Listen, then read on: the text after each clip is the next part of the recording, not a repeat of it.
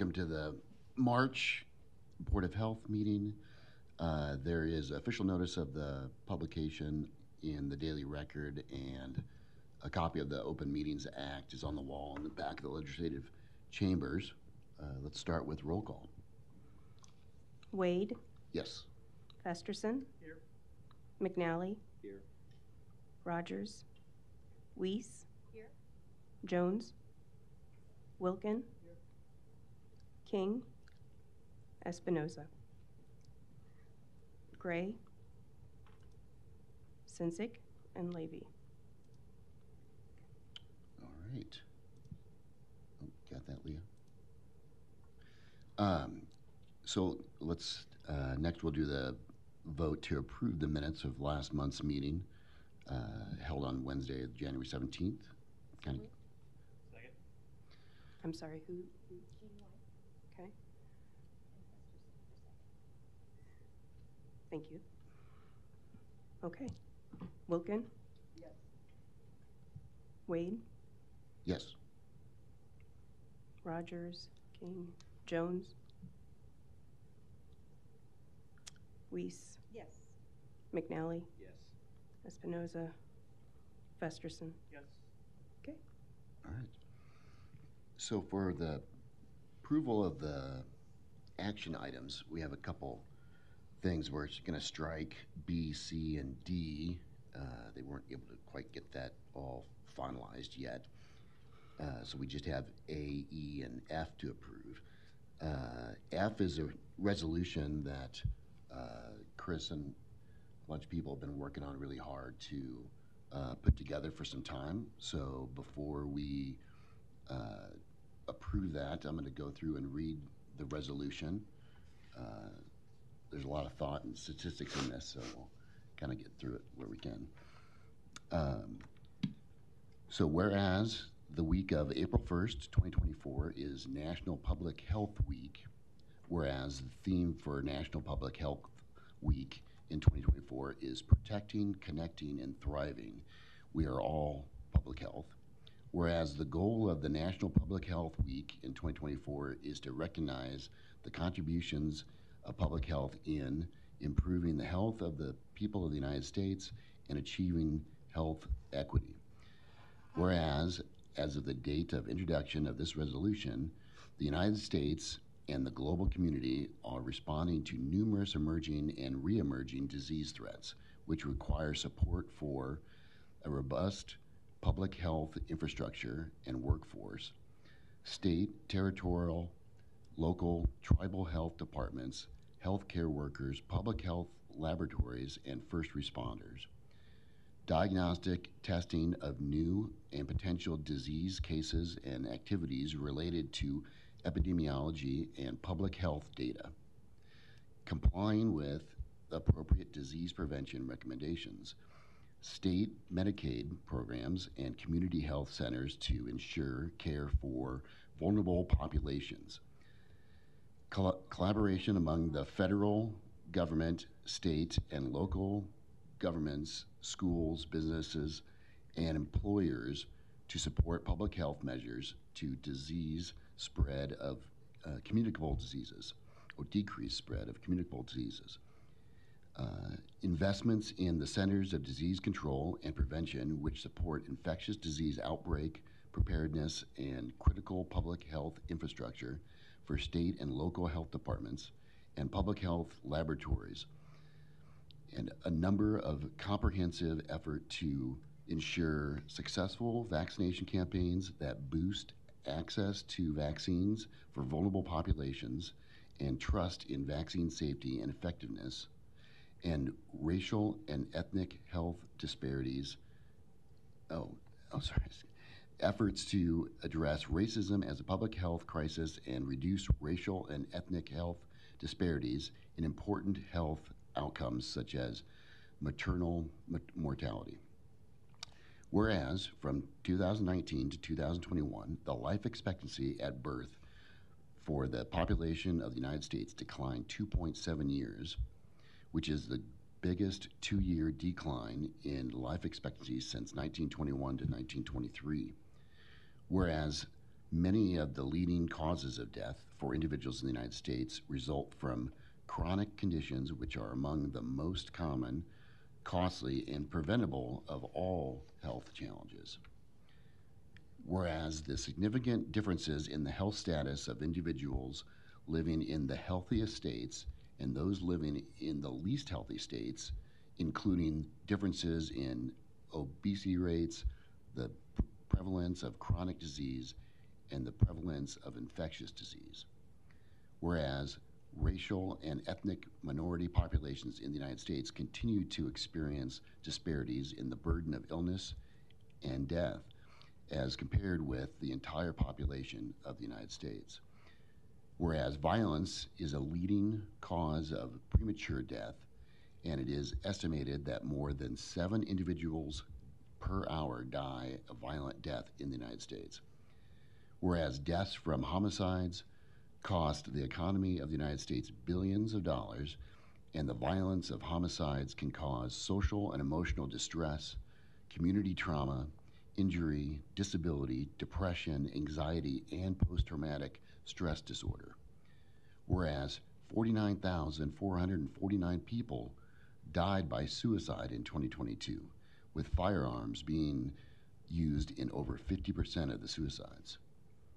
Whereas an estimated one in seven children in the United States experienced child abuse and neglect in the past year, with 1,750 children dying of abuse and neglect in 2020.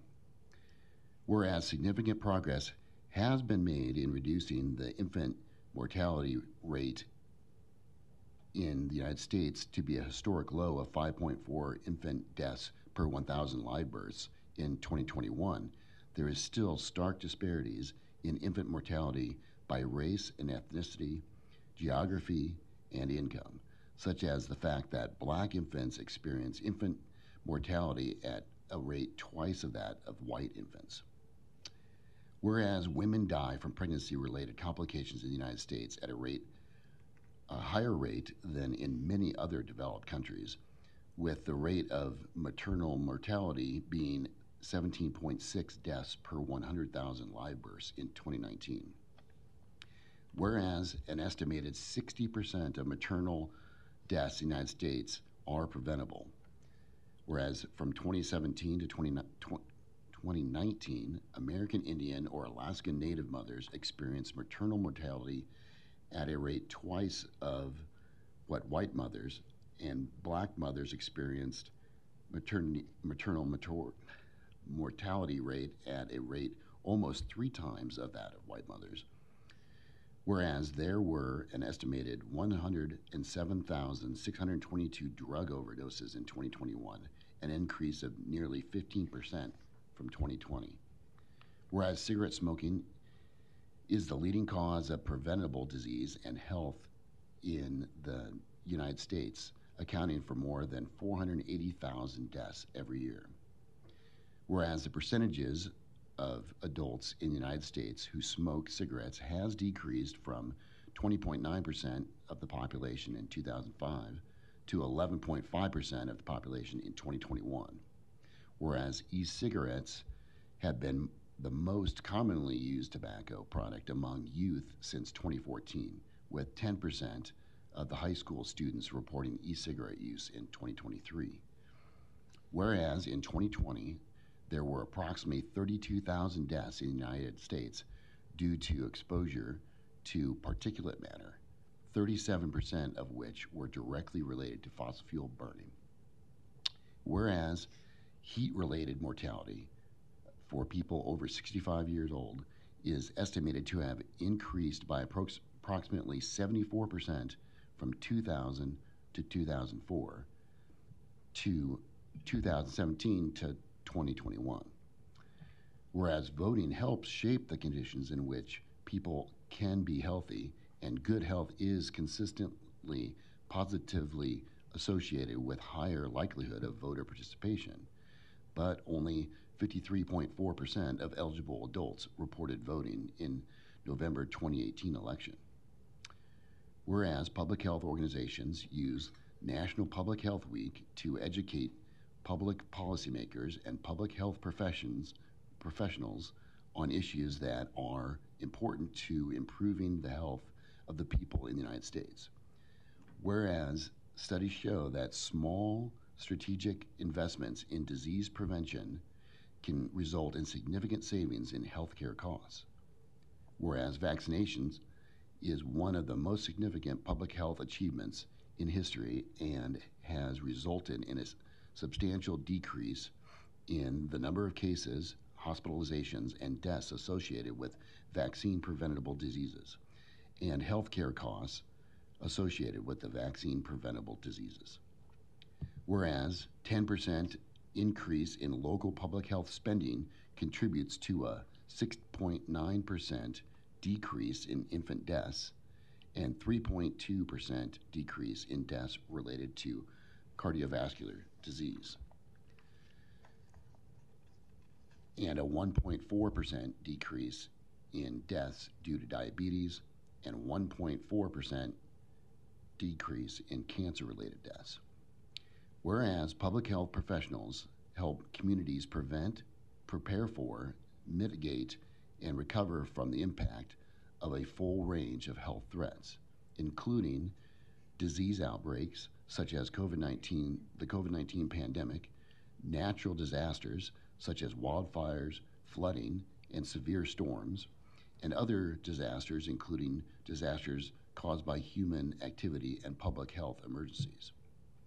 Whereas public health professionals collaborate with partners outside of the health sector, including city planners, transportation officials, education officials, and private sector businesses, recognizing that other sectors can influence health outcomes. Whereas in communities across the United States, individuals are changing the way that they care for their health by avoiding tobacco use, eating healthier, increasing physical activity, and preventing unintentional injuries at home and in the workplace. And whereas efforts to adequately support public health and the prevention of disease and injury can continue to transform a health system focused on treating illness into a health system focused on preventing disease and injury and promoting wellness.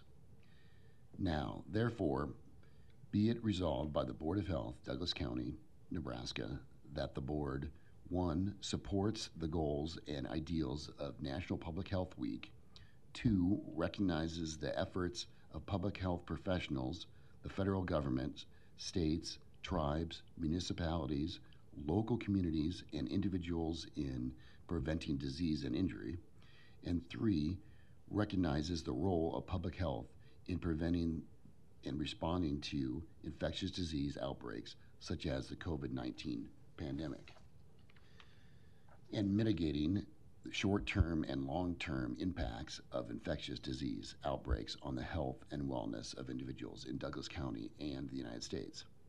And C, addressing the social and other determinants of health, including health disparities experienced by minority populations, and improving the overall health of individuals and communities in Douglas County and the United States. And four, we encourage the increased efforts and resources to improve the health and individuals in Douglas County and the United States and make Douglas County in one generation the healthiest county in the Midwest by providing greater opportunities to improve community health and prevent disease and injury, and strengthening the public health system and workforce in the Douglas County, and encourages the people of Douglas County to learn about the role of the public health system in improving health across Douglas County and the United States. Dated this 20th day of March 2024.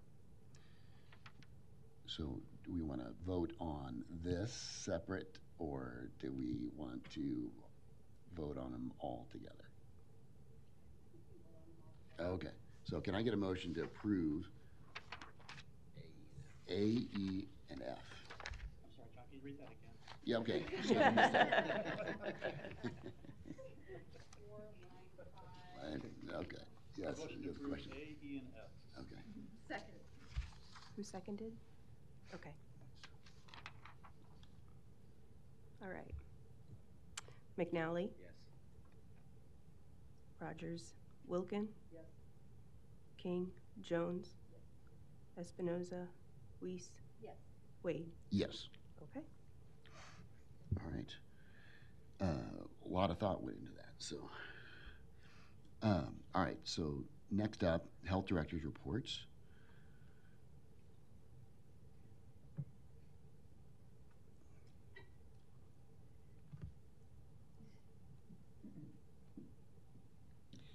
Good morning, and thank you for muscling through that really long resolution. We appreciate it, and we appreciate the recognition of the work that public health does around the nation. Um, just a few updates for you today. Uh, first of all, I wanted to let you know that we, uh, and I think I've mentioned this a couple times, but we're getting pretty close on this. So I'm anticipating you're going to see it in the next month or two. But we've been working on uh, kind of revamping Chapter 11 of uh, the the city code, which addresses food safety. Uh, and this has been a very, very long process involving lots of attorneys and uh, lots of back and forth with my food safety and compliance team.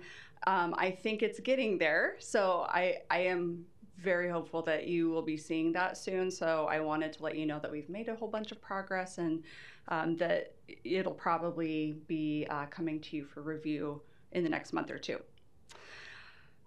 Speaking of food safety and compliance, uh, we were able to finish up our closing and reinstating of food establishments that were overdue on their permit fees. So all of that is complete. All of the restaurants um, that needed to be taken care of were, and so um, we know that's an annual thing that comes around, and we're happy to be through that. Uh, but now that that's done, now we've sent out our mobile food permit uh, fee invoices. So those are now out. We'll be collecting those fees uh, for those annual uh, permits, and then also pool permit fees went out March 1st. So uh, everything's kind of moving uh, in terms of uh, the, the permits and the fees that we collect. Uh, our budget also came out from uh, the county on March 1st.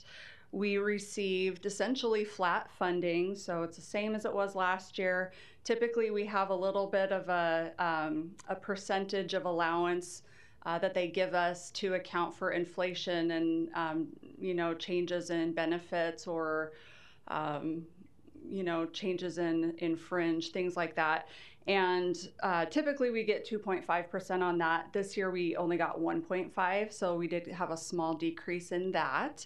Uh, but otherwise uh, we are working on the budget. We finished our what we call our nose count so essentially enumerating all of our staff and figuring out uh, where each of them are paid from um, so that we can ensure that we are budgeting correctly for the upcoming year for our positions. And we'll work on the rest of our budget and have that in uh, well ahead of time. So we're good there.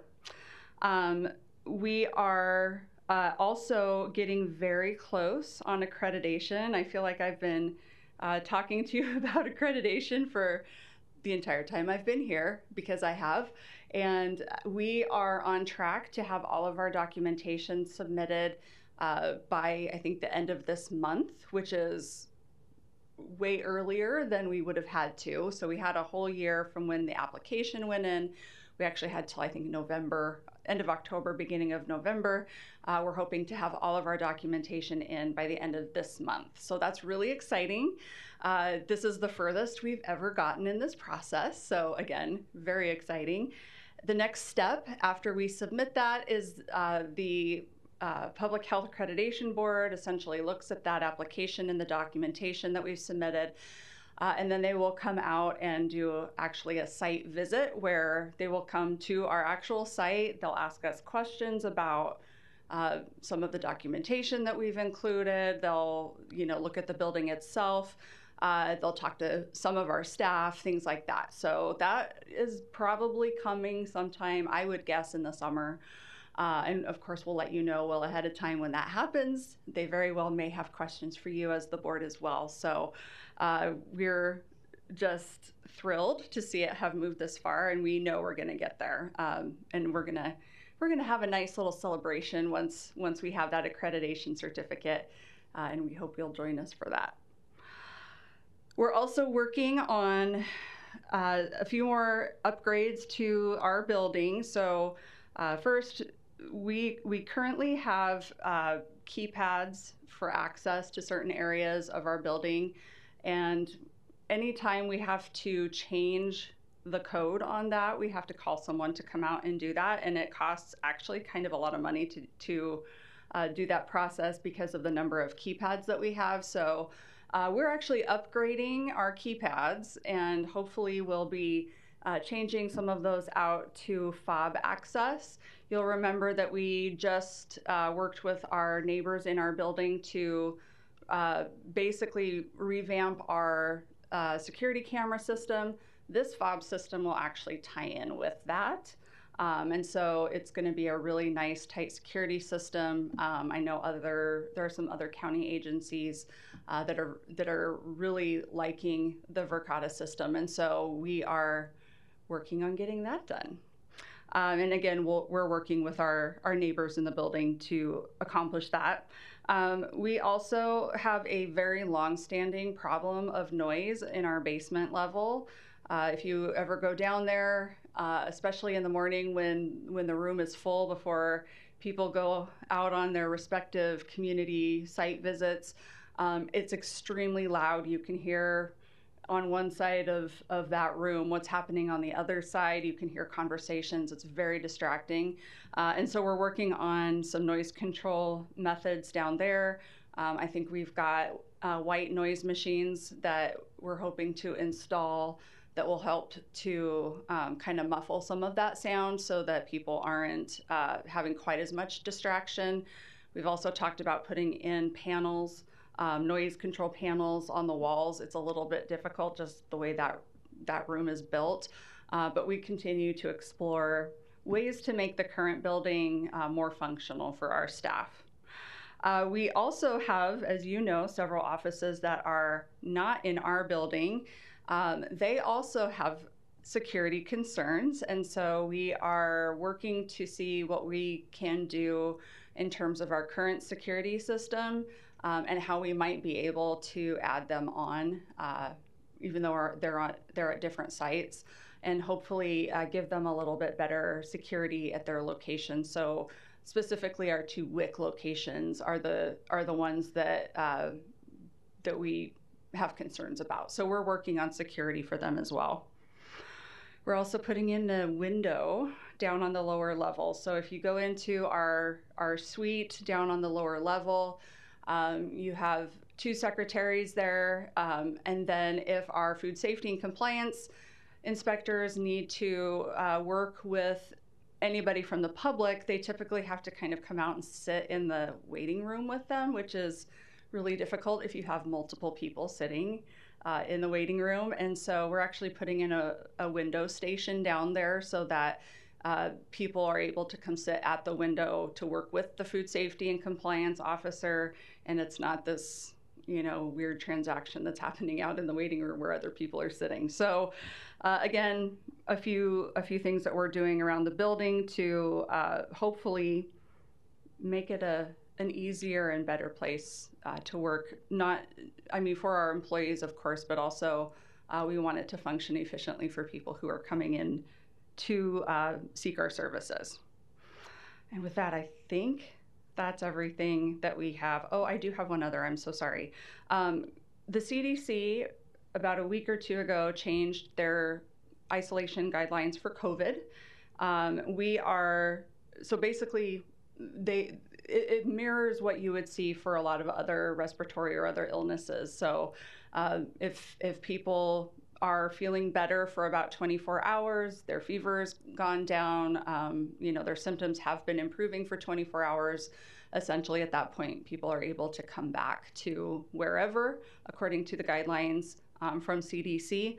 We're still awaiting word from the um, Civil Service Commission on what that looks like for our county employees. So right now we're still following the old one, which is that five day isolation until we have something official from um, civil service. So we're just waiting on that. And my understanding is that should be coming forward um, very, very soon. I think they've possibly already met. Uh, we just haven't seen that guidance yet. Does anyone have any questions about my updates this morning? All right, Actually, I did have one. sure. Uh, so back on the, the first thing you were asking about or talking about the budgets that are under process. Mhm. Do you have, is there anything in the next year's budgets uh, that would be any new proposed fees at all coming up? Uh, or is that still all part of that? We do. Uh, we well, we are we are hoping to uh, implement some new fees. However, we really feel strongly about making sure that we're including um, the community in in that decision making. Uh, one of one of the the main ones that we're looking at is starting to uh, charge for permit fees uh, for nonprofit food establishments, essentially, or uh, nonprofits that serve food. And this is something that most other municipalities actually do. Um, for whatever reason, I, I don't know the history, but we haven't ever charged nonprofits.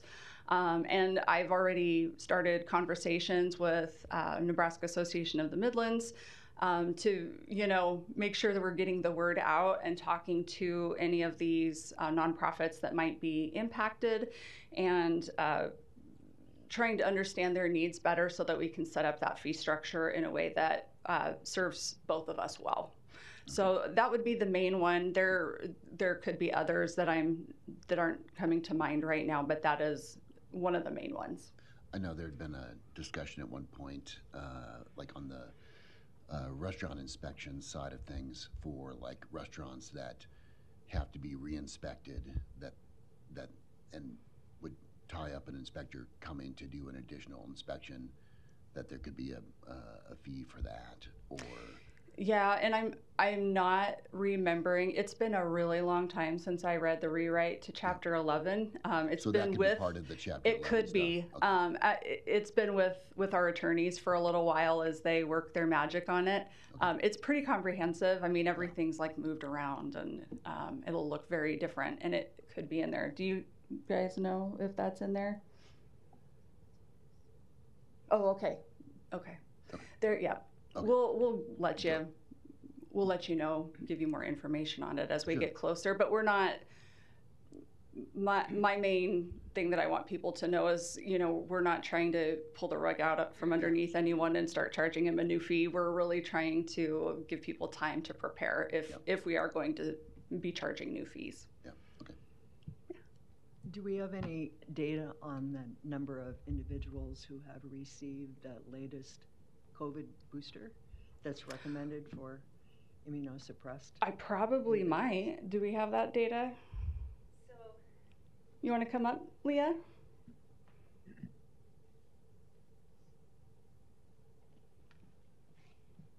So we have actually on our dashboard, um, on the vaccine side of the data dashboard, we have been working to get those numbers updated. It's there's been some nuances with it just because only 65 plus can receive that booster or it should receive that booster at this point.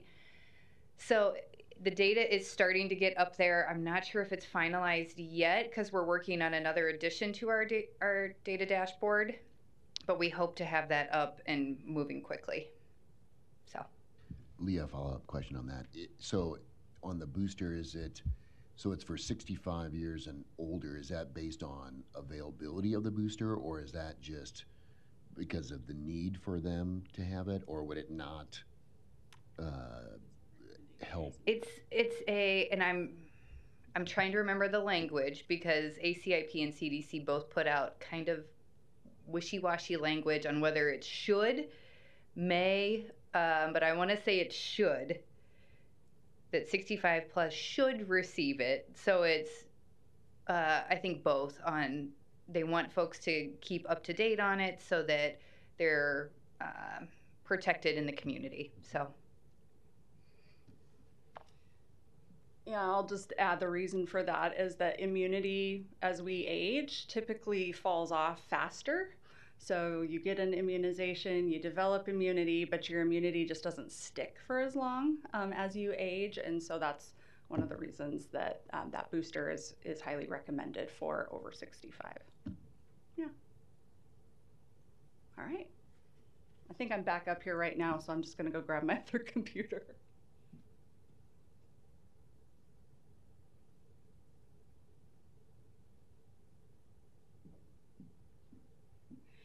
Okay, um, we'll have just a little tiny bit more budget discussion here in a minute. Um, I wanted to give you all a quick legislative update. Last month, when we met, uh, really everything was just kind of in hearings, so there wasn't, you know, a whole lot happening uh, in terms of things advancing or going places. So um, I have a little bit more for you this month.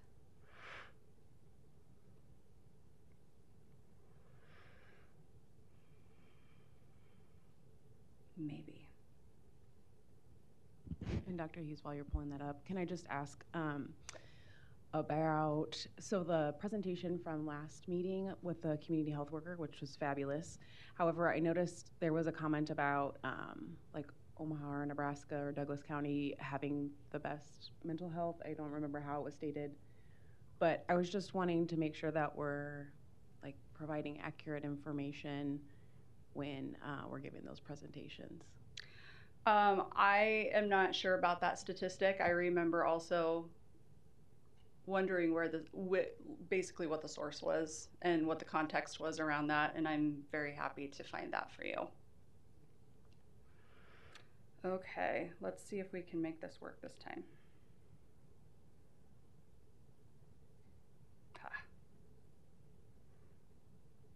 Okay. Much better. So this is really just to help guide the conversation because there's a lot. There's a lot that's going on. Um, here we go. That'll look better for you guys, hopefully. Okay, so at this point in the, le- the legislative session, there are 16 working days left. So if you'll recall, this is a short session. Uh, I believe the last day of session is April 18th. Um, now, formally, that's the last day of this session. However, depending on how budget conversations go, uh, there's quite a bit going on around uh, the governor's plans for kind of tax reform, basically, in, in Nebraska. Um, we could end up in uh, an extended session if necessary to continue those discussions, but right now uh, we're operating as though April 18th is our last day. Um, a few updates on bills that we have been watching. So, LB 262, which is the REHS bill, um, that's the, uh, the bill that has been prioritized by AG uh, that actually changes the requirements for certification for in food inspectors. So it removes the requirement that they have the REHS certification, uh, which we have opposed, and uh, they, they're well aware of that. Um, unfortunately, I think this bill is probably going to continue to advance. Um, I think they're they either did or they're planning to amend LB 321 to 262. 321 is, uh, I think, the cottage food bill, um, or the, I think it's the one that uh, deals with people being able to um, prepare food from home and sell that food under certain requirements. So I think that those two will likely move on, but we're continuing to watch what's happening there. Uh, LB 307 was the syringe services bill. This was introduced by Senator Hunt, and it would have uh, allowed certain organizations to provide syringe services for um, IV drug users to basically swap out dirty needles for clean needles. Um, this is a very successful uh, intervention that's utilized in multiple communities. People who uh, have access to these services tend to live longer. They tend to uh, get into uh, rehabilitation services a lot faster. Uh, and, and you see people who are actually able to, to uh, stop their, their drug use uh, with these types of services available. And so we were very excited initially because this actually passed um, the entire legislature. Unfortunately, it was then vetoed by the governor. Um, Senator Hunt did uh, undertake a campaign to get that veto overrided, and I think she was five votes short. So, unfortunately, uh, LB 307 did not become law. Um, we would have loved to have seen that, but unfortunately, that just that just didn't happen. Uh, LB 421, this is a bill that was introduced last year. This is that DHM bill that was um, introduced by Senator Kauth. Uh, at this point, it's still out there in committee. It's not prioritized, however, and in a short session, if a bill doesn't get prioritized or amended onto something else, it's probably not going anywhere. Um, it has not been amended onto any bill at this point. We're keeping an eye on it to see if that does happen, uh, but we think that it's probably going to continue to kind of sit where it is. Can you, what's DHM? Directed health measures. So sorry. This is the bill um, that had additional language around um, what what uh, health directors are able to issue community wide. So puts additional um, steps in there in terms of getting approvals. Um, and Senator Kauth has been wonderful working with uh, Nebraska Association of Local Health Directors on the language for that. But again, we think it's probably not going anywhere. So. Uh, home visitation was something that NALHD had prioritized this year, and uh, LB 1124 and 1125 uh, looks like they are both funded and within the budget. So there's 900,000 for home visitation, 500,000 for nurse home visitation. Um, so there there are multiple different models of, of home visitation that are evidence based and can be offered. Not all of those are nurse home visit uh, centered, and so we have kind of two pots here, if you will. And this is being funded from the Medicaid Excess Profit Fund. Uh, this is we're expecting that this is going to pass. Uh, we're just it's kind of on on hold right now because it's appropriations time, and you have to wait for the bills to get make sure that the uh, budget is approved before you can actually appropriate money to these things. So we do expect that it'll move forward. LB 1355 gives uh, some opioid funding to local health departments and other organizations. It's on select file. Uh, right now, there's an amendment in the works for this, and um, this is one of Senator Vargas's bill bills. Okay, the the big fun one, LB 1412, is the mainline budget bill. So this is the big main budget bill. Um, had been advancing, really hadn't had many edits at all. Uh, yesterday, there was an amendment added uh, that would have taken uh, 20 million from the healthcare cash fund. So 15 million dollars of that cash fund currently goes to biomedical research that would have been uh, reappropriated $5 million uh, for, from public health for each of the next two years, so double that. Um, so this would have been reappropriated over to developmental disabilities. Um, we, of course, are very sympathetic to the need for developmental disabilities work to happen. Unfortunately, uh, like if you if you want to break this down to uh, Douglas County, about seven percent of our budget comes from um, LB 692, which would be the healthcare cash fund uh, finances. That's about seven percent of our budget. So this would have been very impactful if this had actually um, gone through. Uh, all of the local health directors were able to kind of rally uh, their support and made a whole lot of phone calls yesterday.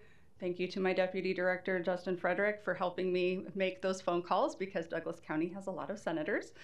Uh, and we were able, um, thankfully, to uh, achieve this, this amendment being withdrawn. So we're very happy that we were able to protect um, that funding at this time. I don't think it's off the table necessarily in the future, though. I think this will probably come up again. So uh, we will we will continue to talk about the importance of public health and, and what losing funding would do to us.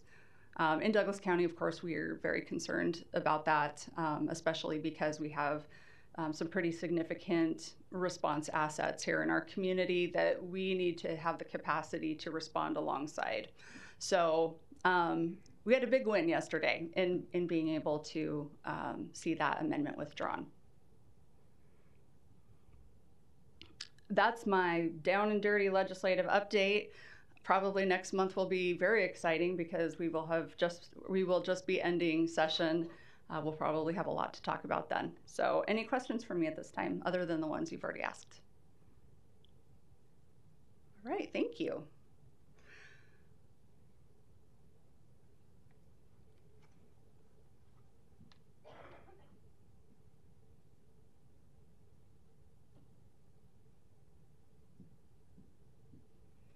All right, third on uh, this part of the, the agenda is a quick update on measles. Um, you know, it's, it's just, you can't have a month go by if you don't have something fun going on in public health. So I'm going to have uh, Justin Frederick come up and just give you a quick brief uh, description of what's happening in the, in the count or in the country and what we're doing here to prepare. Good morning, everybody. Um, so I'm sure you've seen that measles is uh, on the uptick across the country. Um, so far this year, we've had 58 cases of measles in 17 states. And if you look at that compared to last year, we had 58 cases all of 2023. So we're definitely uh, moving in the wrong direction with measles. Um, we take measles very serious. Uh, one case of measles is a public health emergency, and the reason for that is is because it's a it's a true airborne uh, infection. Uh, it can it's more than just a, a rash and, and fever uh, that folks often think. There can actually be a lot of complications associated with measles and uh, even death. Um, so so far what we've done at the health department is we stood up what we call our incident management team. I think you've heard us talk about this with, both the uh, rabies response and the, the tb response that we had. But uh, it's basically pulling subject matter experts from the department all together to tackle an issue and in this case being measles. Uh, so we've already started our pre-planning uh, in case we have a case or when we have a case um, and so we've developed our health alert network message already that would be sent out to all of our providers in Douglas County, notifying them of uh, potential of the case, if there's a case, uh, locations, uh, et cetera, so that if they have a patient come into their facility, their clinic, uh, they can uh, obtain that history to see if there is a potential exposure. There's also information in there about testing. Uh, we have been working with the Nebraska Public Health Lab to make sure that all of our testing recommendations are up to date as well. We've developed talking points for our information line. Uh, anytime that we have a, a, public health emergency, obviously the information line is very important. Uh, we've worked on training our uh, communicable disease epidemiology staff. A lot of them have not seen a case of measles. Uh, a lot of physicians haven't seen a case of measles, so it's really important that we understand the progression of the disease so that we can assist with helping rule in, rule out uh, potential uh, diagnosis of measles. In fact, our last case was uh, 2017. Uh, it did not result in a lot of community exposures. In 2010, we had uh, four cases of measles in, within one family that had a lot of community exposures, including the Omaha Zoo and about 10,000 people there, uh, students visiting for, from four different states, uh, Target, Hy-Vees, churches, all sorts of things. So it was a, a massive response.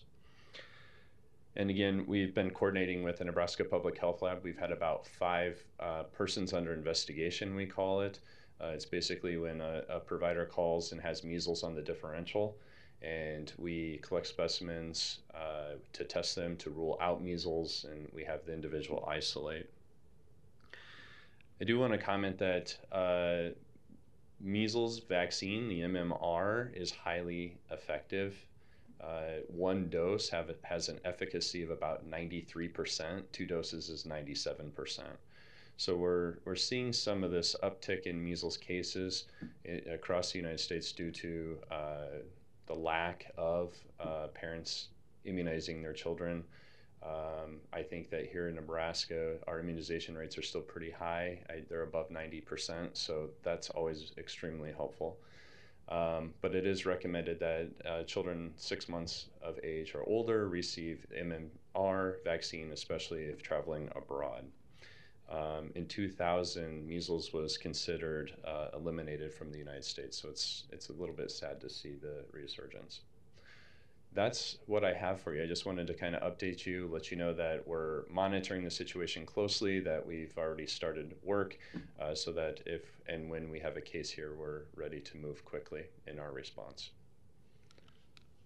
Uh, just a personal note from experience, I had uh, the measles back in 1990 in that outbreak down Oh, at the sure. university, Mhm. and it was the sickest I'd ever had ever been. Yes. Still to this point in my life, uh, it was it was pretty bad, and I think they tracked it down to uh, another student that had been in the same classroom hours before I had been in that classroom. Yep. Picked up that Yep. from there.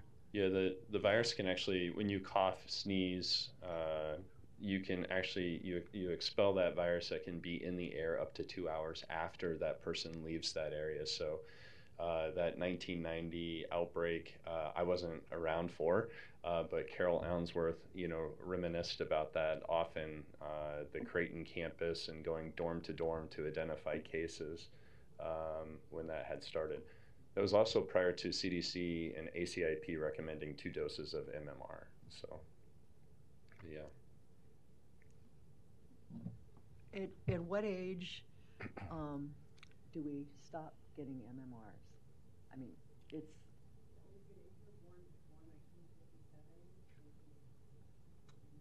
Right, Do you want to turn your mic on?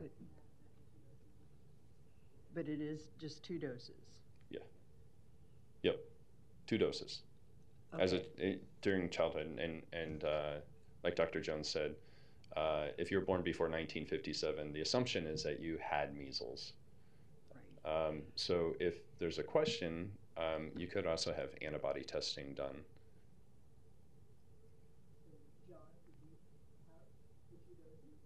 Uh, so I can, certainly I don't remember all the way back to that uh, whether I had two or one, but the discussion back then was I don't think in the '60s uh, when I would or I maybe early '70s that I wouldn't have had that that they knew that they needed to keep that vaccine refrigerated, and it was a situation where standard procedure was that they would leave that out. So uh, the I think the thought at that point or discussion was that uh, I had got a, a And Dr. Wilkin, the Yeah. the recommendation for two doses didn't come around until after 1990, when there was a, a resurgence of measles in the country, and we were seeing breakthrough infection uh, with folks that only had one dose. Hence the outbreak at Creighton in 1990 in the sense of college students, right? They had That's- apparently only had the one dose.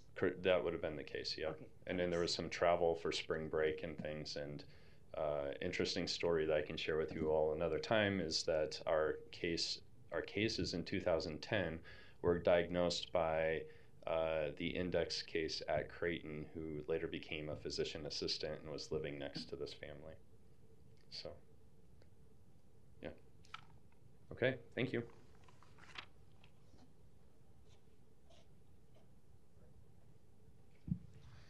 Uh, all right, so that gets us through the health director's reports. So uh, a couple presentations today. Uh, CHI, uh, first up. Uh, so, and I think we have a handout for that.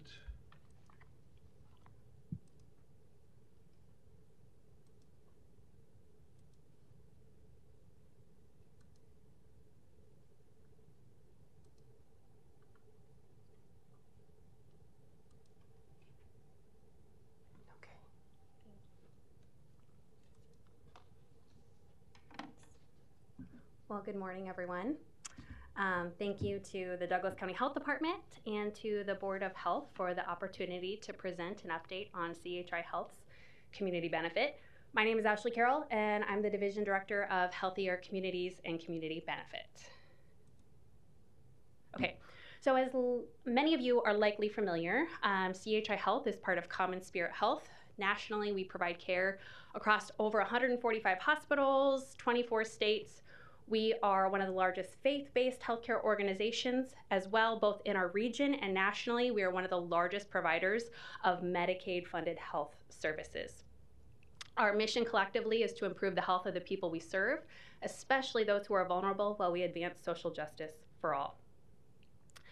We are actively in the midst of the next 2024 2025 Community Health Needs Assessment cycle. This is a collaborative process. And because I have line of sight, um, I oversee uh, 28 hospitals, uh, CHI Health hospitals in four states. I can tell you this is not the model everywhere. So I'm so appreciative of the co- collaboration between our health systems and our health departments in the Omaha Metro in conducting this process um, jointly. But um, we have the community health survey out in the field today. I put a link uh, in that uh, shaded blue box on the bottom of the screen. Please encourage all residents in Douglas County, Sarpy, and Pottawattamie counties to complete that survey through the end of May.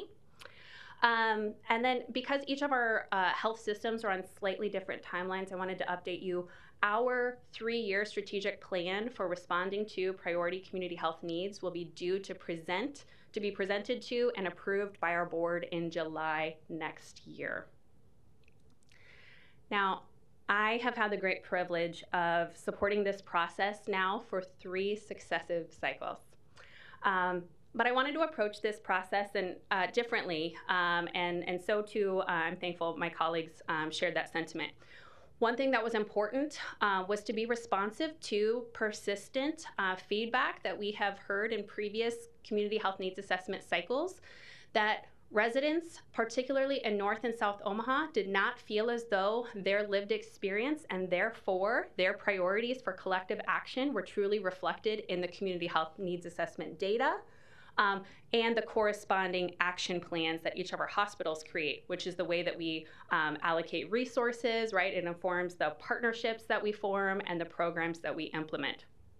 And so, um, we are working with Creighton University Institute for Population Health, as well as several community partners, to host um, listening sessions, three each, in North and South Omaha in community spaces to deepen our understanding of the assets and barriers to optimal health and well being at an individual and a neighborhood level. We're also partnering with Children's Nebraska to engage special populations who, by the um, methodology of the community health survey led by PRC, which focuses on geography, right, random sampling of households in specific zip codes, it doesn't intentionally engage um, individuals with specific identities. And so we wanted to host listening sessions to um, deepen our understanding of the experiences of folks who are experiencing homelessness, foster caregivers, refugee and immigrant populations, as well as the LGBTQ plus community. Another point I wanted to make too is that we don't see this as a discrete endpoint or a point in time, um, but we want to either leverage an existing or create a new uh, community advisory councils for the ongoing monitoring of our three year strategic plans, right? So we don't want this to become an extractive process where we gather that data and that's where it ends, right? And community says, well, you know, what did you do with this information that I shared with you? Um, so we really want to create um, this accountability mechanism to hold us accountable to reflecting on what we heard from community um, and, and creating uh, implementation plans that, that respond to those priority needs and, and help us, right, um, course correct as invariably over time our plans will, um, will change. So that's forward looking. We're in the midst right now, uh, we're just over the midway point of our current three year strategic plan we prioritize behavioral health, health related social needs, and violence prevention and intervention. Health equity is embedded throughout each of those priority areas. I'm going to focus the majority of my presentation on health related social needs, as my uh, community benefit counterparts have also done, but I will highlight a, a few um, key initiatives in each of the other priority areas. We are one of the largest providers of behavioral health services in um, the metro as well as um, statewide. So, therefore, um, we are um, positioned well to expand access to mental health services uh, along the continuum, right? From impact, inpatient psychiatric care, outpatient, community based, and telehealth uh, mental health services.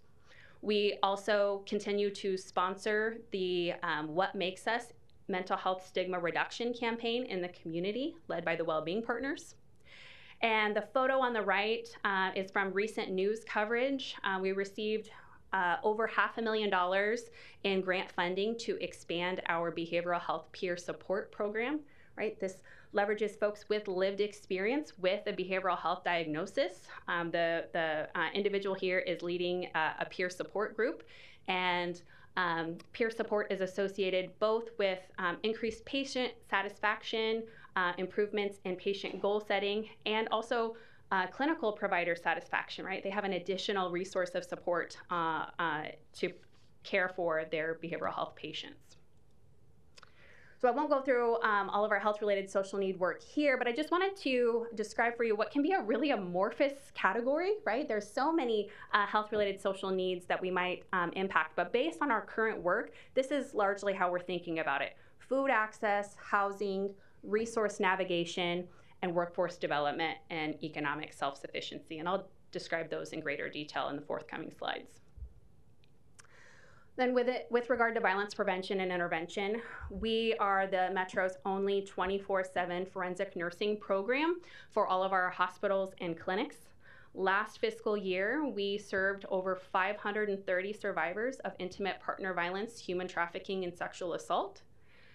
We are now requiring all of our staff to complete Human Trafficking 101 and Trauma Informed Care training annually. We also developed uh, a training in partnership with UNMC College of Public Health and WCA um, for cosmetologists and tattoo artists to identify signs of human trafficking within their within their clientele and then know how to respond appropriately. Um, that also meets the um, state cosmetology um, requirement for ongoing continuing education, so they can take that that course and get credit. Additionally, we're expanding our partnership with U-Turn. Um, we have, for many years, supported their community based violence intervention work. They have also provided crisis de escalation in our emergency departments, particularly in our level one trauma at UMC Bergan Mercy and at Immanuel Hospital and um, the university campus uh, freestanding ED. But we're expanding on that um, that partnership based on the Health Alliance for Violence Intervention model or HAVI model, wherein patients who are admitted into our hospital who are meeting the program eligibility criteria for U-turn can be identified by the um, case management team at the hospital, referred to U-turn, and then we can connect with that patient while they're in our care pending the patient, uh, uh, we obtain patient consent, right, to begin to um, provide wraparound services and support to that patient to extricate them from the conditions that predicated um, that traumatic injury. That can include um, economic support, that can include job training services, food assistance, um, housing, and even relocation services at times. Okay, so now I want to describe some specific hospital community partnerships to address health related social needs. By its very virtue, we cannot do this work uh, alone. So, I want to start with the foundation, as several of my colleagues before me, um, I think, have, have mentioned. In calendar year 2024, CMS requires all acute care hospitals to screen adult patients 18 years and older for those five domains of health related social need that you see on the screen while we this this is such a tremendous opportunity to for us to deepen our understanding of our patients' social risk factors and barriers to treatment adherence and optimal um, health outcomes. So we're really excited about this. Um, accordingly, we need to build out our internal workforce for resource navigation to help patients navigate health and social care systems that are often disparate and not talking to one another and, just challenging to navigate. So we are expanding our clinic-based uh, community health worker program, which I'll describe in another slide. We've also we're also leveraging the secure social need referral platform Unite Us and um, have some really great data that I want to share with you um, that's actionable uh, at a community level. We're also investing in community capacity for resource navigation and, uh, and patient advocacy and support. So we are um, we're financing the doula pipeline program through I Be Black Girl, and we're also one of the founding sponsors um, and initial initial uh, financial contributors to the Pathways Community Hub um, through the Omaha Community Foundation that leverages community-based health workers to connect with birthing people with social risk factors for poor birth outcomes and connect them to all of the resources of support that they might need to have a healthy birth and baby. So I mentioned that Community Link program. This has actually been in existence since about 2016. The community health workers are located in our several of our primary care clinics, but they also provide virtual support to some to our specialty clinics. Um, so they we have coverage across our 20 plus uh, clinics in the Omaha metro. Last year, um, we had six community health workers. We just hired a seventh, and we have plans to hire an eighth community health worker. But last fiscal year, our six community health workers supported 2,200 patients with identified social needs. The top barriers those patients were experiencing were financial hardship, uh, medical insurance insufficiency, transportation, food insecurity, and housing. Of those 2,200 patients, the community um, link advocates, as they're called, or community health workers, identified 4,400 barriers that those 2,200 patients were experiencing. So uh, most patients are experiencing more than one social need. And then they provided just under 6,000 interventions for those 2,200 patients. The types of interventions I'm describing include patient education, um, helping patients secure a community based resource, they participate in coordinated calls, such as with DHHS for eligibility verification. Um, they can also assist a patient in completing a Medicaid, SNAP, or WIC application. And then they're also coordinating um, internal referrals to additional types of care. We have also been using the Unite Us platform um, in a limited fashion since July 2021. Primarily, our super users are those community health workers in our Community Link program. What I wanted to, to bring forward to your attention today is since that time, so just about three, coming up on three years of usage, um, and 70% of our total system referral volume to Unite Us uh, has originated in our Douglas County sites, again, because that's where our Community Link program is, is located. The top reasons why we send referrals, and this is looking at data, we've sent to date about just under a thousand referrals uh, in the Douglas County area alone our, from our Douglas County facilities. The top reasons we send referrals to the platform are for housing and shelter, utility assistance, clothing and household goods, food assistance and income support round out the top five. Then I also pulled data from the Unite Us network overall. So that would be all referring agencies located in Douglas County over that same time period. And what you see is there is significant overlap in the top health needs, both of from our system and all of the referring agencies in Douglas County. And I think this is really actionable data, right, to drive collective action and investment in closing those community resource gaps. That's a conversation I'm having with my community benefit colleagues as we approach our next three year strategic plans, um, and that we're elevating through the Regional Health Council as well. So within health-related social needs, uh, as I mentioned, uh, we're drilling it down based on uh, current partnerships and initiatives we have in place. So food access is one of our most established uh, work, uh, portfolios. We're thinking about this along a continuum, right? Creating access points for patients to um, access additional resources. The SNAP and WIC enrollment refers to um, the work of our Community Link program and the community health workers that can assist patients with those with an identified food insecurity. We're also referring our patients to the Cura project, which is led by Creighton University and the Financial Hope Collaborative for patients um, with a type 2 diabetes diagnosis and identified financial strain. Um, it's predicated on the notion, right, that if a patient is struggling to um, make their rent it's exceedingly difficult, right? Um, it stands to reason they might also lack the means to lead a healthy lifestyle, to get five fr- fresh fruits and vegetables a day.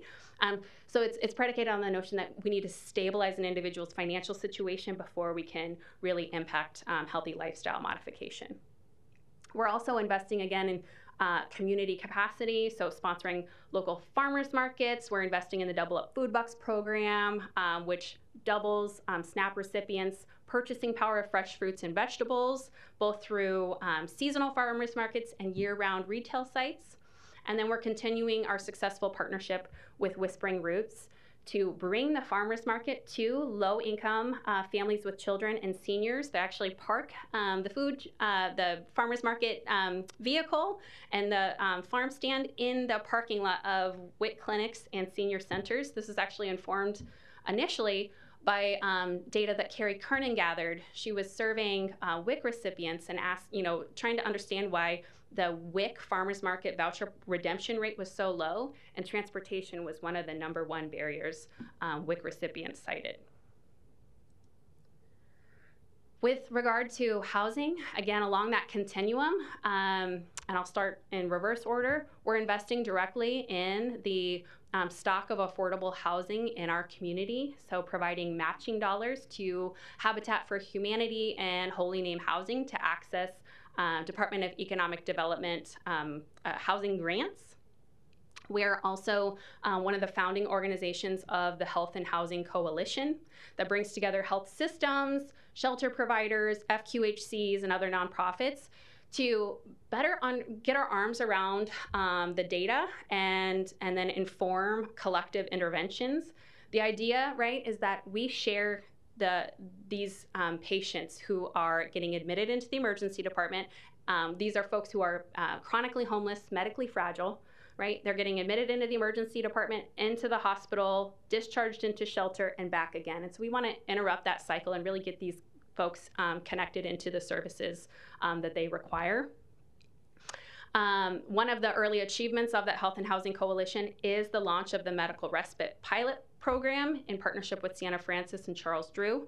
And then we have a, um, a, a partnership with Together to um, connect patients who are, again, uh, either experiencing homelessness or at risk of becoming homeless and connect them into resources while they're in their in our care right so that no wrong door creating additional access points for intervention with regard to that program uh, we started this partnership with together in 20 september of 2019 since that time, we've sent over um, 600 referrals to Together. So, how this operates is a patient is admitted into the hospital. A member of our care management team identifies that patient is either experiencing homelessness, which will present a barrier to, to discharge, right? Um, or they're at risk of becoming homeless. They send a referral, um, they obtain patient consent, they send a referral to Together, a Together uh, dedicated housing problem um, solver meets with that patient while they're in the hospital. What's interesting is over this time period, they provided over 400 um, interventions, only a third of which were monetary in nature. Let me describe that for you. So, um, they do have, we, we fund financial intervention. Um, that could mean paying first month's rent and deposit on an apartment for a patient, if that's what um, uh, is is the best case scenario for that individual. We can pay back utilities in arrear to avoid uh, or to reverse a shutoff. But again, only a third of the interventions are monetary in nature, which speaks to just the need to connect disparate systems. A really illustrative example is the um, there was a patient who qualified for voucher housing, but lacked a state issued ID. So they could have presumably had excessive length of stay in our hospital, which drives up the cost of health care. They were eligible for service, but no one along this, you know, this length of time had identified that the limiting factor was a state issued ID, which is a very low cost intervention to connect a patient to resources that would, um, you know, stabilize their situation and improve their health. We're also investing in the healthcare workforce pipeline. We recognize even prior to the COVID 19 pandemic, we were experiencing healthcare workforce shortage, which are only um, projected to increase with time. And we recognize too that our current healthcare workforce is not reflective of the patients in the communities that we serve. So we have intentional partnerships with several of our local high schools to um, help youth um, see themselves in a career in healthcare and provide those practical experiences uh, for them to, to help really identify where their interests in healthcare might lie. Couple of things I wanted to note here. Uh, we have a, a, successful partnership with Latino Center of the Midlands. Um, they host a uh, health career internship program um, in about two and a half years' time now, we have um, graduated 24 unique students through that health career internship program. They come out of that program uh, with uh, certifications in Stop the Bleed, um, QPR, which is a suicide uh, intervention, suicide prevention intervention, mental health first aid, um, and CPR first aid. Uh, the next level of that internship program for certain students who said, you know what, I am interested in healthcare, we will fully fund the cost of their CNA program um, with a commitment to come work for us part time, PRN status. And we've got um, seven students so far that have completed their CNA, and that four are working in our uh, hospitals and clinics today. We have uh, another uh, example of this is the Health Career Academy through CHI Health Immanuel. They have partnerships with Roncalli, Gross Catholic, and Benson High School. Um, we've currently got six students, um, six nursing students who are working as CNAs in our hospital, and two in uh, radiology. Now, if you'll allow it, I'll provide a quick uh, community benefit financial update. So um, collectively, our Omaha Metro and Council Bluffs hospitals contributed $108 million in total community benefit this last fiscal year. That includes providing care to over 29,000 patients whose care uh, was covered in part by Medicaid, but for which Medicaid does not fully reimburse us for the cost of providing that care. That also includes an additional almost 9,000 patients who were uninsured or underinsured um, who accessed our financial assistance program. And not an insubstantial proportion of that total, um, $28.8 uh, million, or over a quarter of our total uh, community benefit, was in broader community health initiatives, which I'll describe in greater detail. So this shows our community benefit in the Omaha Metro over three years. A couple of things I want to draw your attention to. Um, we so the largest driver, of course, is our total medical financial assistance. That's that $79 million in the first gray bar. What you do see is that there is a decline over the preceding two years. Uh, our actually the share of our um, payer mix uh, that is Medicaid is actually increased incrementally over that three-year period. However, our gross volume has declined uh, from FY22 to 23, right? So we're serving overall more Medicaid patients, but fewer patients in total. Um, we're also finding that um, our average cost of care has steadily increased over these three years, and uh, length, average lengths of stay have increased. And as you all know, right, CMS dictates a certain diagnosis upon admission should um, should translate to certain number of days in the hospital. And beyond that those certain number of days we are not being compensated for that care. There are um, however uh, there has been a, um, an increase in our total um, broader community health over this time period and a couple of things I want to draw your attention to or, or provide um, greater uh, understanding on. So, with regard to if you're looking in the middle, um, community health improvement services, that largely entails um, Medicaid counseling and enrollment. That includes medical financial partnership or legal aid services to our patients. Um, that includes things like the Vaccines for Kids program um, at Midlands Hospital and um, Stop the Bleed, which is mass casualty training. Um, within health profession education, we've also seen an, a, a, significant increase in that area. That's clinical rotations and preceptorships for nursing students, um, oncology, radiology, med tech, pharmacy students. That's our graduate medical education. Um, within research, I am investigating this because I don't think that this actually constitutes a significant drop in overall research activities, but perhaps undercounting or underreporting of that activity, which sometimes happens when there are staff transitions. Within financial and in-kind contributions, you're also seeing a significant increase over that three-year time period. Um, a couple of notable drivers of that increase are increasing cost to discharge patients. Um, sometimes that is we are um, needing to purchase durable medical equipment for patients, that, and that's not covered by their insurance.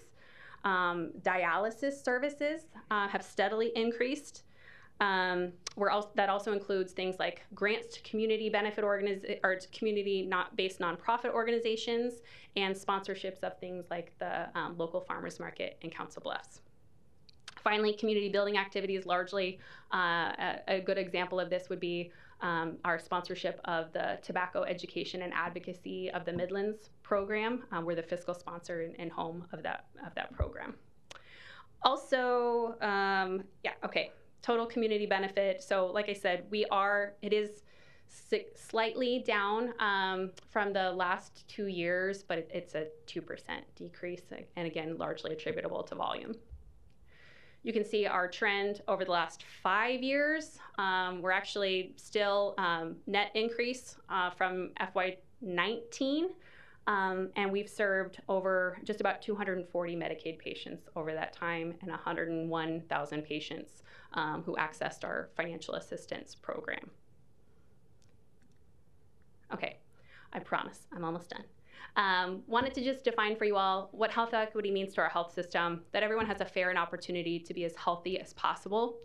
This is a not an exhaustive or comprehensive listing of all of our partnerships, but um, we feel it's incredibly important to work with those organizations in our community who are most proximal to the health issues we're trying to impact and the populations we intend to serve. So hopefully this is reflective. You can see that in the partnerships that we're making, um, that, that commitment to achieving health equity and, and uh, partnership with those who are best positioned to lead that work.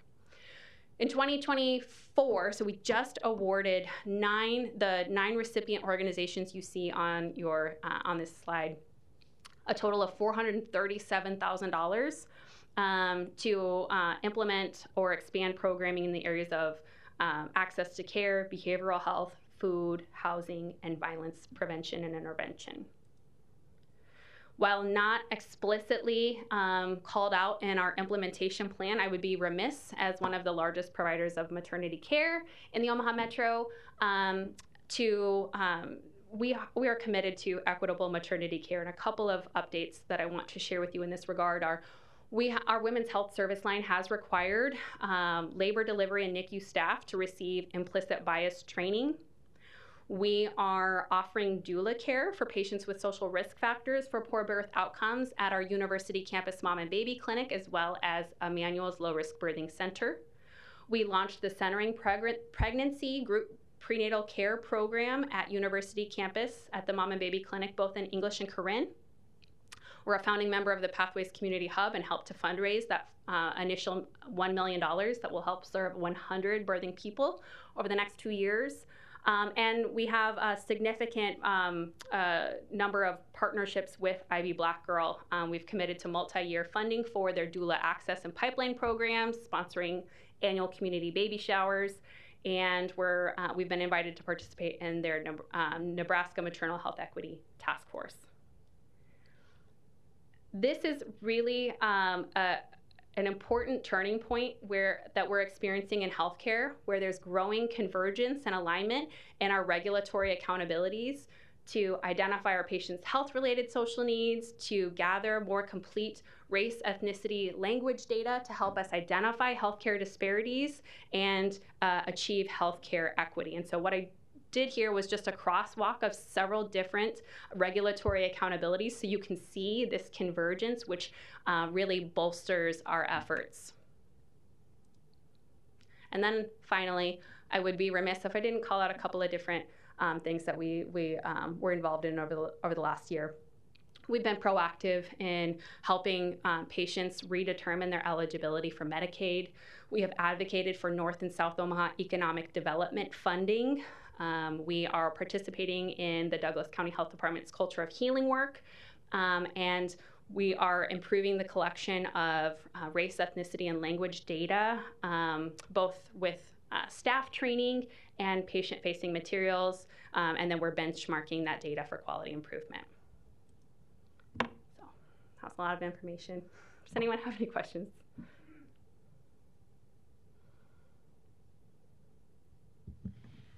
Awesome presentation. Sounds like you guys are doing some amazing things. Um, about the equitable maternity care, can you kind of speak on the implicit bias training requirement that you guys have initiated? And like, is that an annual thing? And how does that work? We would like to get there. Um, at this time, we received some external funding, um, initially from the Pampers Foundation, to create. Um, so, so we were able to access certain number of slots of the um, March of Dimes Breaking Through Bias in Maternity Care training. So that's the training that we're using.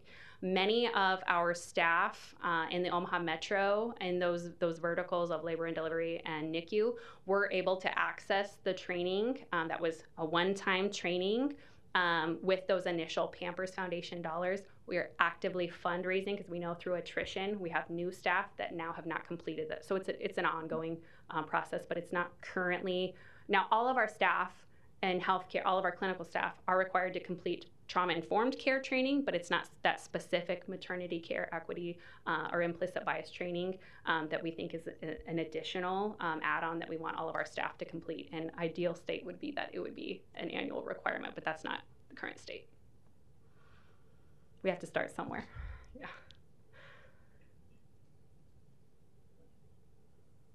All right, thanks for your presentation. Thank you so much. Uh, There, was a question got brought up uh, about, do we have this room past ten? You know? I I think we do. think that we technically only have it till ten, but practically almost always are in here till ten thirty. Okay, okay. So if we, if, it's up to you, if, if you want to go past ten, we can do that, or we can push off the last presentation until next month, that's also, Uh, I'm Up to good you. either way. I just wanted to make sure that he had enough time to get, you know, We, we have get this through room. everything that he wanted. are we good? We're good.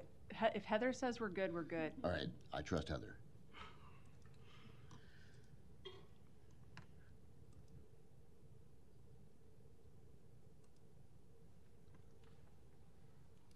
Well, thank you. Um, tough act to follow, I will say. Um, I would also uh, just like to point out, I'm thank you so much for the resolution that you all passed uh, earlier in this meeting. It means an awful lot to all of us as public health professionals to see that prioritized. Um, I want to give a brief update on the Division of Health Equity and Planning. Um, and again, I'm Jamin Johnson, Division Chief of Health Equity and Planning.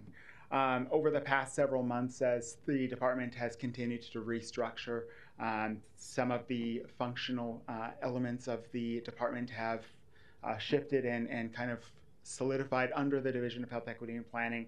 Obviously, the primary, my primary responsibility still remains um, making sure that we are embedding health equity and the principles of health equity in everything we do as a department, and that we are partnering well with our friends throughout the community.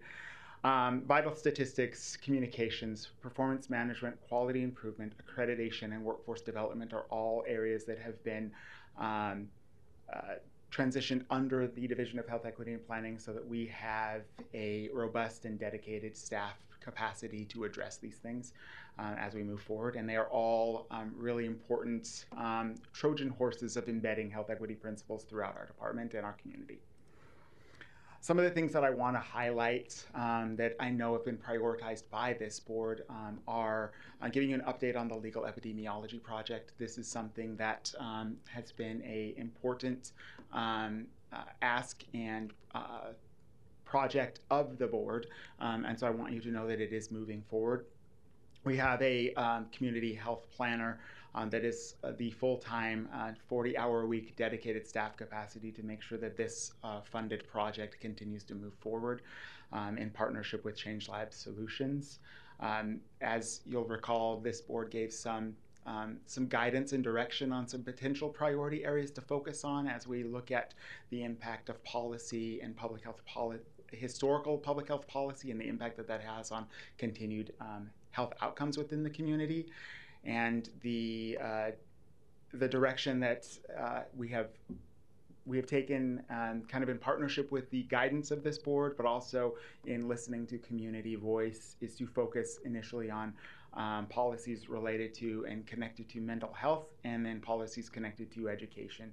Um, and so our uh, team has been able to um, conduct uh, targeted focus groups um, with community partners um, looking at both mental health and education policy and the impacts that those policies have had and continue to have on um, on the overall communities that are reflected.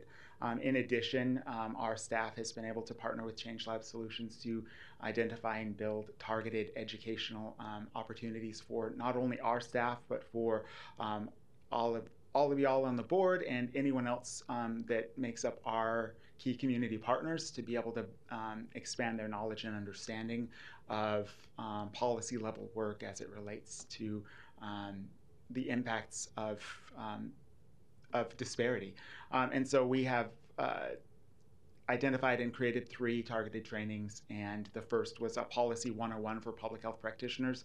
That training um, was conducted last week with 25 participants. Um, I, I, believe that it is definitely something that we can continue to um, to reproduce quite effectively um, as the needs continue to rise. Uh, we will have two more trainings that are that build on this initial training, but uh, do not require that you have attended the initial training to be able to participate in the follow-on trainings. Um, really briefly, I wanted to let you know some of the work that the um, health uh, health educator within the Division of Health Equity and Planning has been working on. Our health um, educator has been um, building strong relationships with the International Council for Refugees and Immigrants, or ICRI, and um, has been requested to provide targeted and specialized um, public health education to um, communities served by ICRI related to um, respiratory illness. This is a direct result of our partners in in infectious disease epi building out and standing up a robust uh, respiratory uh, illness dashboard um, that uh, that spurred questions within um, targeted uh, unique communities within our community within oh, Douglas County that wanted a little bit more information on how they can protect themselves from uh, these respiratory illnesses um, and how they can also uh, continue to educate their communities in languages um, that are their preferred language. So our health um, educator has been able to provide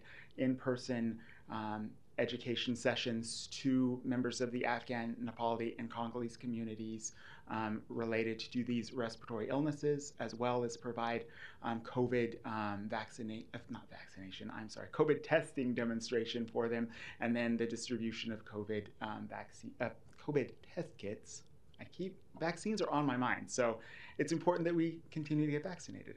Um, but over the past two months, uh, they have been able to provide 696 at-home test kits to members of those um, communities at their at those communities' request. So.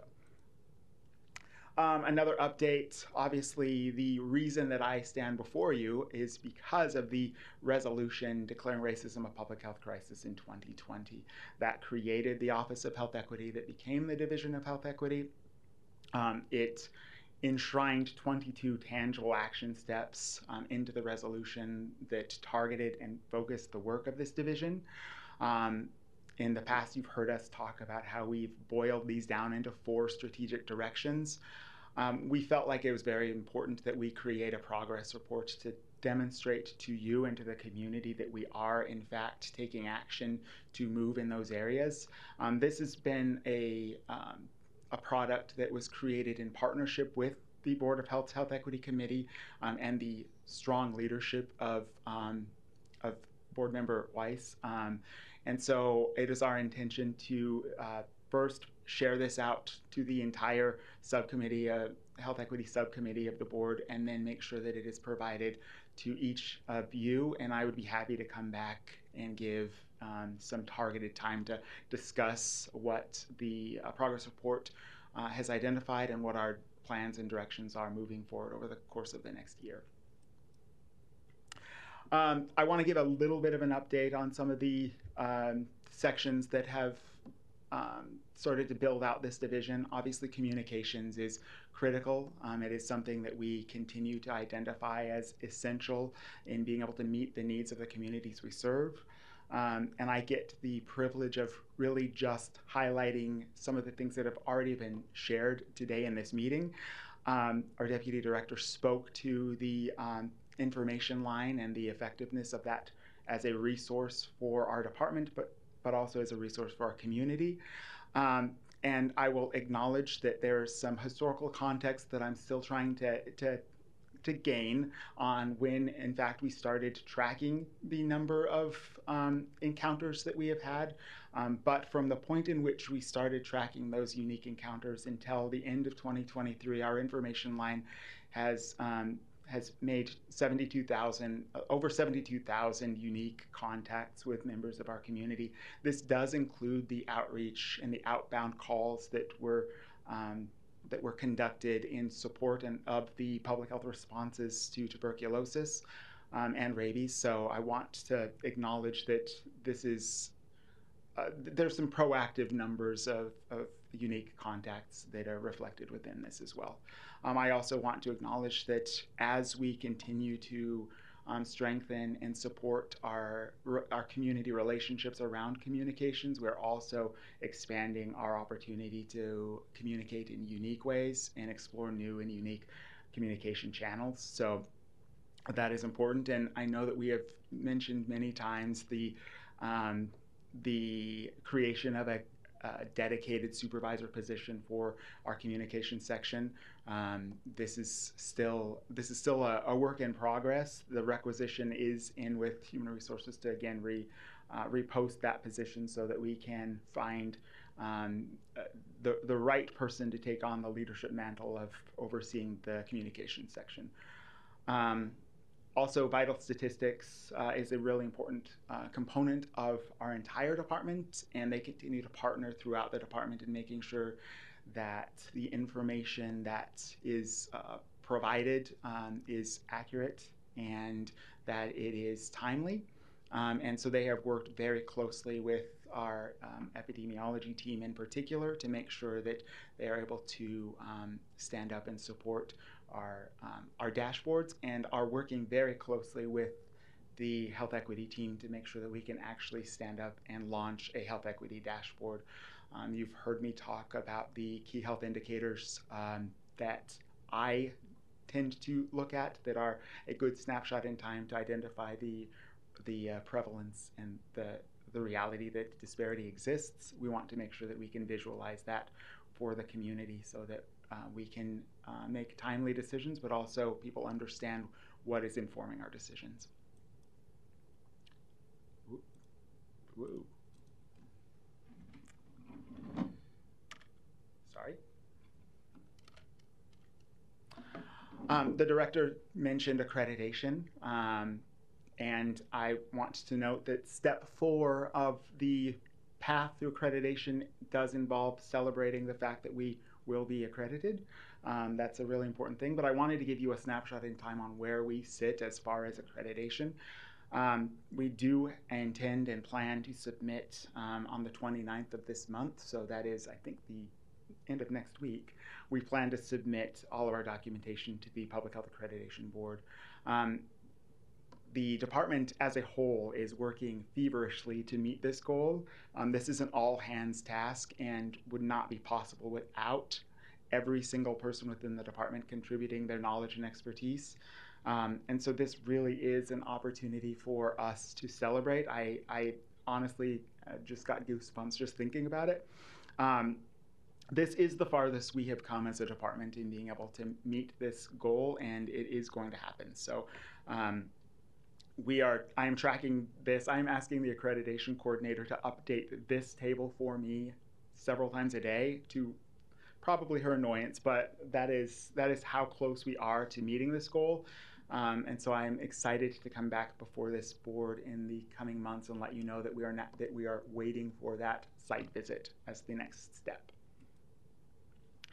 um, I wanted to talk about briefly a few other areas where we have continued to work. Um, one of the things that we realized, that I realized, um, was that we have been um, we've been really good at um, convening community partners. We haven't necessarily um, done a fantastic job of then taking what we learn in those settings and doing qualitative analysis to really understand the themes that emerge in those settings and make sure that we are either using those um, to uh, to improve or addressing those asks that are made, and then being intentional about communicating back to the communities that we serve that we have heard, understand, and recognize what they're asking for. Um, so we are we are using this as an opportunity to strengthen our our capacity within the division to um, conduct qualitative analysis. Um, we are looking at the COVID um, uh, community advisory meetings that took place over a course of several years. Um, we have transcribed all of those recorded meetings, um, and then we have uh, begun um, we've begun boiling those down and, and identifying emerging themes so that we can uh, make sure that one we can say whether or not we've addressed what was highlighted as an emerging theme. Um, and then we can make sure that those themes are on the top of our mind as we move into other um, encounters and opportunities to engage with our community. In addition to that, we conducted an oral history project, which took um, several. It took several years, and it um, was an opportunity for us to not only capture the uh, the history of members of our workforce, but also key community partners. That's an opportunity where we we we made a really large ask of of our workforce and our community partners to share their story and experience, and then we really didn't do much with it after that. So we want to honor the um, the commitment that people made in in sharing their story, and we want to actually conduct um, an intentional um, qualitative analysis on what uh, what was provided to us as the form of uh, really important and valuable insight and um, and also an opportunity for us to glean um, knowledge from people's lived experiences. So we have um, begun that process. We have conducted our initial analysis of the community um, portion of our oral history um, oral history project, and so we have that um, compiled into a report, and we are trying to do a similar task with the uh, staff side, the workforce side. Um, the surveys, the questions were conducted in a little bit different manner, so we can't we can't seamlessly crosswalk the way in which we're doing this to create one um, one product, but we do want to make sure that we are creating something that looks reflective and similar so that we can make sure that we are one providing that back to the people who honored us with their experience and two we can provide that to the community as a whole and use it to inform our future decision making um, i mentioned the health equity dashboard um, so i'm not going to spend a whole lot of time on that and i've also spoken to quite a bit about accreditation. I'm happy to do that anytime you want me to. There are a handful of us within the department who actually um, get pretty excited talking about it, and then there are a handful that are happy to let the rest of us do that talking. So, anytime you'd like for um, more information on accreditation, I'm happy to do that. Um, so, I, it's also my opportunity to speak to the importance of the community health needs assessment. We are in the we are in the midst of the survey um, right now, and it is every person's opportunity to contribute um, to this survey um, and to encourage people around them to. Um, the Wellbeing Partners um, has done a masterful job of supporting and leading the outreach and communication around this, and I wanted to make sure that you were aware that we do have communication in both English and Spanish um, to um, inform and, and encourage participation broadly. Um, and I have uh, included the QR codes as well so that it makes it simple and easy for each of you to scan and take the survey too if you wish. Um, if you want, um, if you want print materials, might yes. ask a question about that. Absolutely. Uh, I was going to observe earlier that um, that is a very important point you just made about encouraging people to participate in this survey. I, recall taking it three years ago and just took this one recently too. And it's a little bit different. As it, it, to my recollection, the previous one was more about well, what are your perceptions of the needs in the community, and where do you think you see? This one's much more personal about where do you what are you experiencing Uh, I think in an effort to get to the point Ashley made about um, really making sure we're measuring what people are experiencing individually and, and then working on those particular issues. And so that much more important that we advertise this and get this out to everyone to take because it's going to influence the next three years of every system's community benefit activities, right? Absolutely, yes. And I will I will say that you know the regional approach uh, is unique. I've, I've mentioned this before. It is not something you see um, as as a national model, though it should be. Um, and that gives us a unique opportunity to partner with our hospital system partners, our academic institutions, and our neighboring health departments to be able to actually apply a regional approach to addressing identified health needs. Um, and this does, this current round um, does take a, um, a different approach than in pre- previous years to really uh, look at individual need. Um, this is also the first year that there is a web based opportunity for people to contribute and participate. And, and in addition to that, this is the first year that the survey, the phone survey, is not just going to people with a landline, but is also going uh, targeting cell phone um, cell phones as well. So there are several um, several unique changes to how it is being conducted this year that is hopefully going to expand people's access and ability to contribute and participate. And I want to acknowledge that it is a long survey, so it is a it is an ask. We are asking for people to to contribute a you know a large percentage of their time 20 to 25 minutes to complete it and we understand that um, but the the value um, that it adds to our community and being able to make informed decisions to support um, community identified need is so important so we really do want to encourage people to participate Jamin, how are how are you getting this information out to vulnerable populations? so to be able to take the survey, and is there an age limit? I mean, can There- teenagers take it? uh, eight, you have to be 18 Eighteen.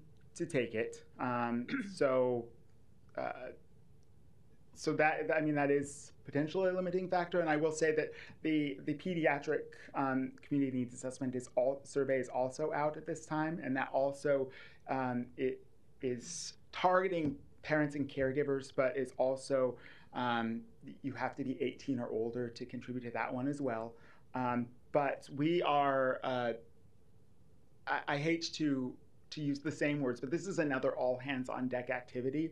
Um, all of the all of the members of the regional health council are working diligently to, to use every opportunity they have to get the information out about this. I know that our community health workers and our field staff are um, are taking these flyers with them when they go to community events. We are sharing it um, as widely as we can through all of our communication channels. I believe that um, that we uh, issued a press release yesterday, um, Monday and yesterday, and we made sure that that went out in both English and Spanish. And we we are open and and uh, willing to um, to meet any any opportunity to continue to expand opportunity for people to contribute. I'll just add, um, and I'm sorry if you already said this and I just missed it, but this is the first year it's been available as an online survey. So in previous years, it's it's been this phone survey. So we are truly hoping that we are able to um, have way better reach this year. You know, the fact that you can scan the QR code, go on and take the survey um, is hopefully helpful.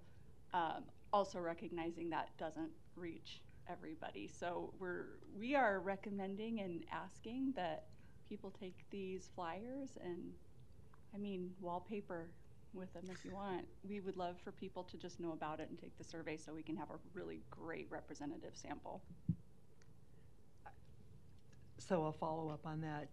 In the survey, then, will there be sufficient identifying demographics for the final analysis to um, give us a broader picture of the individuals in the community that responded? Uh, yes, so we've worked we've worked with a PRC to try and um, make sure that we are um, drilling down on those key demographic details. Um, I will say that we also are conducting an oversample um, of the phone version of the survey in um, the eastern part of um, of Omaha, so 72nd East, to try and to try and expand um, access and, and and uptake. And the hope is that we can um, we can make sure that we have strong demographic information, um, especially from the phone survey participants. Um, the uh, surveyors are uh, they are uniquely skilled in making sure that they can encourage full full responses to the survey. So And I, I literally took this last night. so, um, so I want to thank you guys for offering it online. It, it, the flexibility of being able to do it when I had 20 minutes was great, um, rather than waiting on a phone call, etc. So, um, and yes, it was very comprehensive as far as the demographic information that it was asking.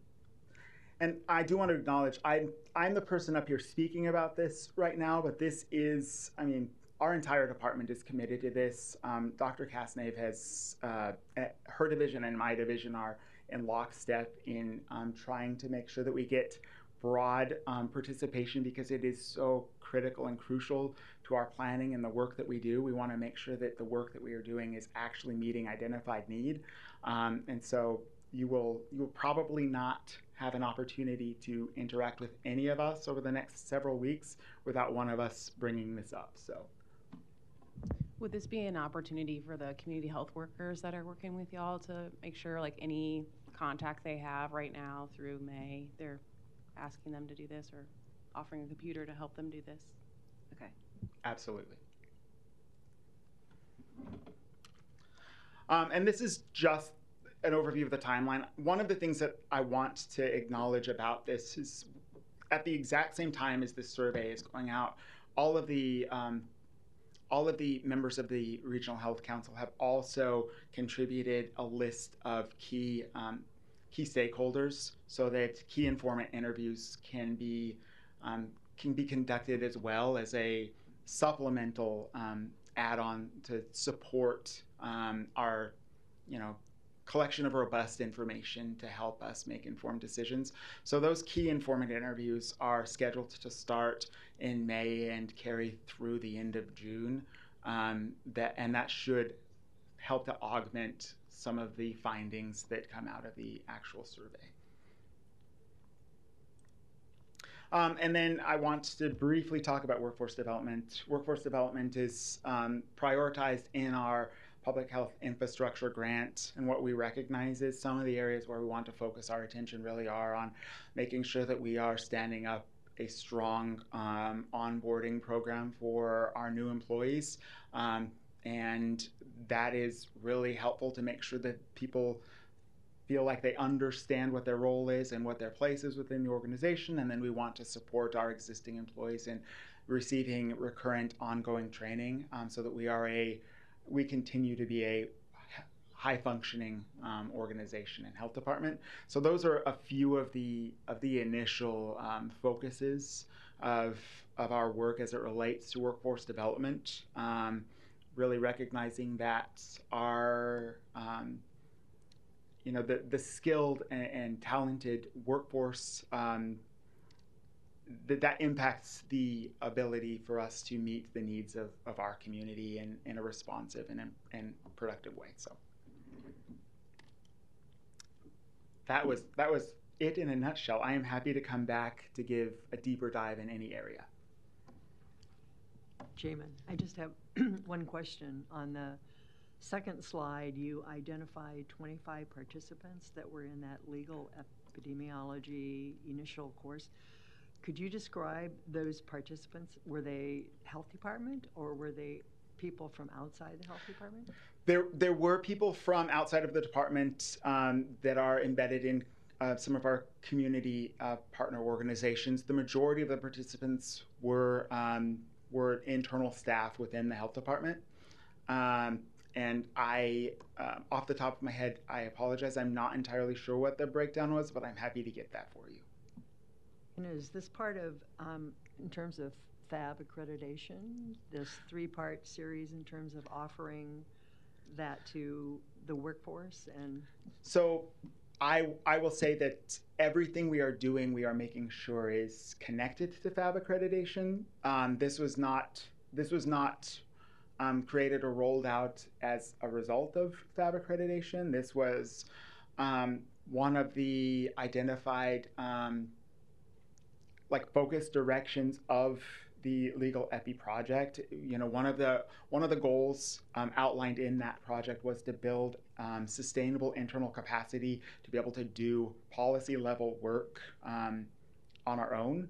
Um, and so we recognize that right now we have the opportunity to partner with a national uh, a national leader, but we may not have that opportunity forever, and we wanted to build our own capacity. And so we wanted to use the opportunity we had while we are partnering with this national organization to expand our own internal capacity. All right, thanks. Appreciate it, Jamin. Uh, there were two, looks like there was two chat notes in there. I don't know if those were questions from earlier or, They're not, they're just a notification. Oh, okay. Um, there's a function Recording. within, uh, Zoom that lets you, basically will like send you a summary Oh. afterwards, so it's, Okay. it was just that Nothing else. notification, Okay. yeah. awesome, awesome. Uh, all right, well, so the de- other department reports had gone out. Were there any questions that anybody had on those? Seeing none. Um, so then there is a, the next Board of Health meeting will be Wednesday, April 17th. Uh, and then if, uh, the committee meetings scheduled for the first Friday of the month. Uh, next scheduled, uh, meeting is April 5th. Uh, no need for an executive session this week. Uh, so then we'll, uh, can I get a motion to adjourn? A second? Second. Second? All right. Wade. McNally. King. Festerson. Jones. Rogers. Espinoza. Wilkin. Weiss.